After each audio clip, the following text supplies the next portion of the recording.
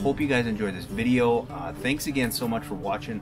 All your comments, um, all your support through all the craziness that's going on. Uh, we really appreciate it. It's really been a great year for us, and I know so many of you guys have done projects and shared your pictures, which I am going to have a video of that coming up pretty soon where you can see actual do-it-yourselfers where we had nothing to do except help them with the design and the consultation, and they put in everything on their own, and it looks as good as any professional design that I've seen, and better than probably 90% of the landscapers and, and different people out there that I see putting in lights that um, when you just don't know quite what to do and don't have that extra guidance, uh, it can look like you're trying to land a plane. It can be overwhelming. It can be underwhelming.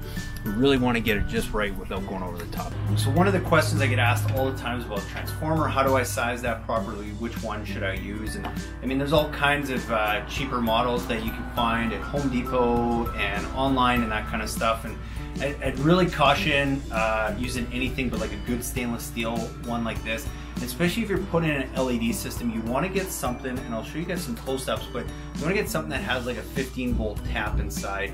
Um, and what that's going to do is it's going to really help reduce any kind of voltage drop issues and give you a ton of flexibility with your system. When you get some of the small, cheaper ones, they're not going to have that option. So I'll talk about that and some things you can do there to make your uh, life even easier putting in a good, efficient LED low voltage lighting system. But basically what you do is you, are gonna um, you're gonna tally up all your lights. So the first thing you wanna do is determine how many lights am I gonna put on our on my system. That's why we do our free consultations where you can send me pictures of your property and we'll give you a pretty good idea of how many and what types of lights you need. And then from there, all your lights, all your fixtures, whether it's somewhere on the box or somewhere on the bulb, should tell you how many watts they're going to use. So for example, this is a uh, this is just over. It's about a six and a half watt uh, lamp, which is a brighter, fairly bright one. They call it a 50 watt equivalent.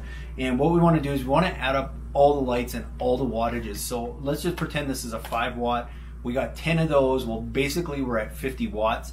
Uh, so what we want to do is we want to make sure we have a transformer that's at least 20% higher than that. And the lower quality your lights are, the bigger you want to size that because there's something also that it should tell you on the box or on your fixture that it doesn't always tell you when you buy something out of the big box store.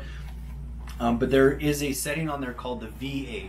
The VA is actually how many watts uh, it takes. So the better the quality of the fixture, the closer that number is going to be to what it actually is. So this, for example, this has uh, this is a six watt lamp. This uses just over seven is their VA, which means it uses 7 watts. So you actually want to size your transformer based on that and not the wattage of the lamp because a lot of times I see cheap lighting fixtures that say they're 3 watts but in essence they're using 6 or 7 watts. So if you put too many of those on a system, you're going to overload your transformer. So something to keep in mind, but general rule of thumb, add up all your lights and make sure you size a transformer that's at least 20% larger.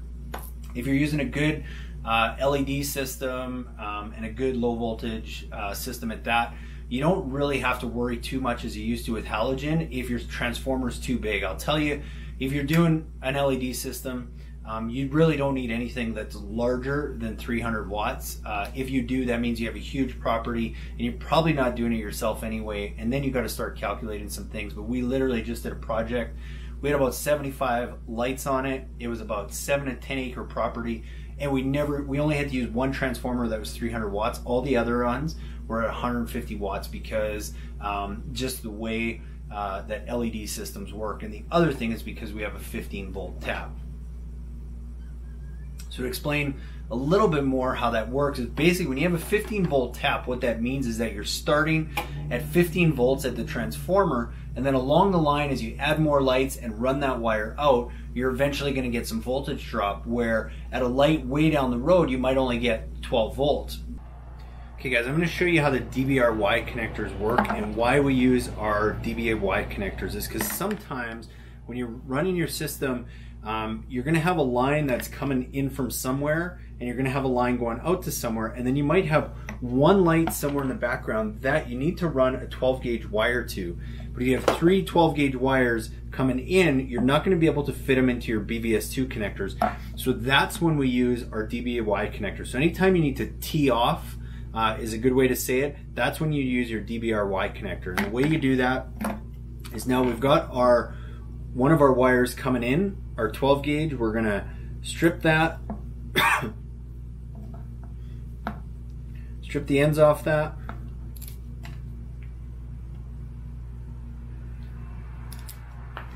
We got our wire going out.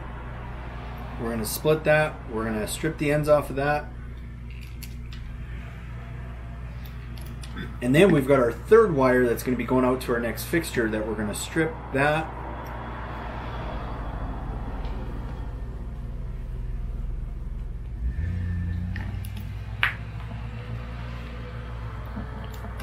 And then there's no way we're going to fit all of those wires into our DBRY connectors. So what we do is we take our Marrettes for our DBRY connector and we're going to connect one wire from each of those outlets we're going to twist them together inside of our regular Marrette. And then you're going to do the same with the other ones. You're going to take those, you're going to twist them together in your regular Marrette.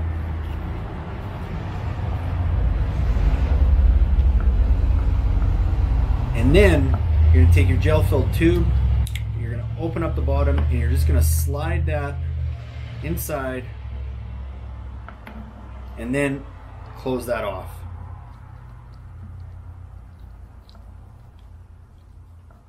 And snap it tight. And you're to do the same thing on the other side. Slide it up and in. Pull your wires. Snap that tight. And now you've been able to tee off a line and those wires are not going anywhere. Alright guys, now how do you wire the last fixture on the line? So this is the last fixture, so you have your 12 gauge wire that goes to it, but there's nothing else at the end. So on all of your BVS2 connectors, you have three terminals, and this happens a lot where um, you're not going to have a wire going out. So what people do is they try and jam all the wires into here. And really, the way that it works is now you're still going to have two connections at every single light fixture, but in each connector, you're just going to have your 12 gauge wire going into the larger terminal, and then you're going to have your wire from your fixture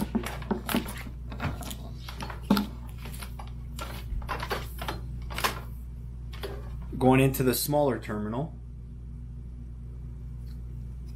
You're going to snap that tight and there's all the wires that are going to go in there. So there's going to be an extra hole in the last light on your line. And then you're going to do the same thing with your other connector. You're going to have your last 12 gauge wire going in.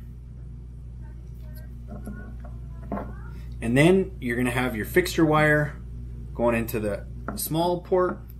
Lock those up. So your last light still has two connectors, but there's only two wires going in each one of those connectors instead of trying to jam them all in one. Even though it's the last light, the only difference is there's no 12 gauge wire going out. So the nice thing with LED as opposed to when it was halogen systems halogen you had to be very precise that you were operating kind of between 10 and a half to 11 and a half volts at every single light, which means you had to be really, um, really caught cognizant of what type of wire you used, uh, how long your runs were, what kind of lights, all that kind of stuff. Most good LED lamps will operate properly anywhere from 9 all the way to 15 volts, which means if you're starting at 15 volts, you can lose up to 6 volts along that line and still not have it affect your light, which if you're using 12 gauge wire, which I would recommend if you're on any do-it-yourself project, just use 12 gauge.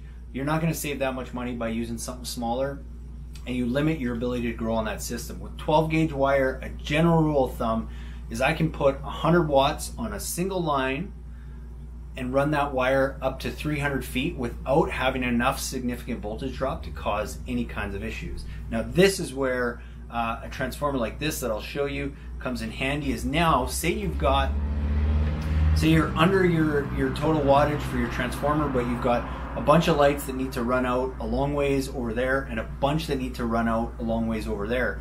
And you don't want to loop the whole system because then you're going to have a ton of wire and you're almost definitely going to have some voltage drop. Well, what you can do, especially when you're getting a good transformer that has a larger tap like this, is you can actually run multiple wires out of this transformer. So I can have my wires that are going in, I can have one line that is going into my common tap and one line that's going into my 15 volt tap and have them running out that way.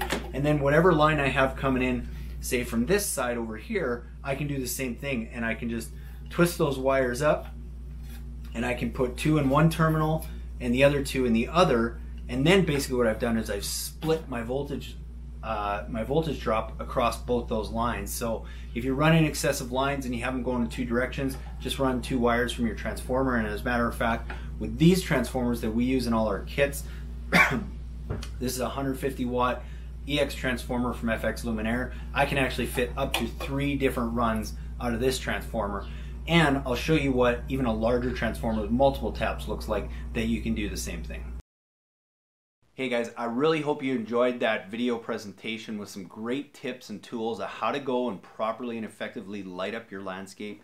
And be sure if you want your own free consultation video, just send me an email at cal at lightingdoctor.ca with a few pictures of your property and we'll get back to you with some really cool ideas and ways to go and effectively light your property. And be sure to watch the videos after this one for more tips on how to install landscape lighting as well as how to light up your landscape the best way possible.